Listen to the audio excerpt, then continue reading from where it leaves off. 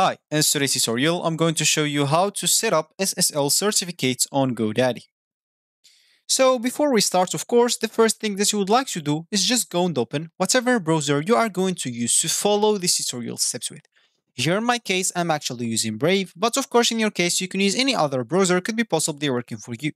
Once you open that browser, make sure to go into this URL section, simply type godaddy.com and hit the enter button. Of course, that should take you into this page.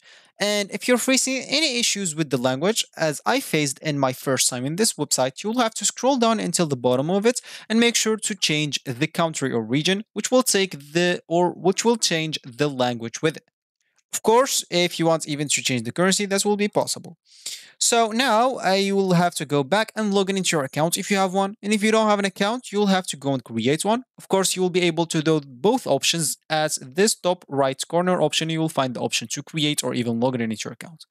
Once you did one of those two options, you'll find yourself on this screen, which is going to be your home screen or your main screen on the on GoDaddy website. So as we said in the beginning of this tutorial, you would like to set up an SSL certificate on GoDaddy. So once you're logged into your account, as we said, you will have to click at your name at the top right corner, then click at my products, which will take you into your products page. Here you'll find all the domain names that you have into your account, of course. And once we, what we care about is just locate the domain section. If it's not uh, open, just go and open it up or expand it. Then just locate the domain name that you want to set up the SSL certificates on. For me, I have just this one. So once I found this, I can simply click as DNS. Uh, sorry, not DNS manage. My bad. So let's just click on manage and let's just wait for the page until it loads. So as you can see, the page is loading right now.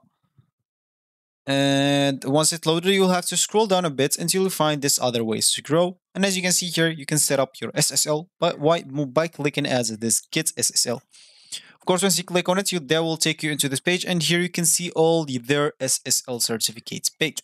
Choose whatever suits you. And of course, once you click at this learn more option, that will be added into your cart. You can just go and pay us from there and you will set up your SSL certificates automatically. And for like, I guess it's a cheap payment. So that's all actually for this tutorial. I hope you like it. Thank you guys for watching and goodbye.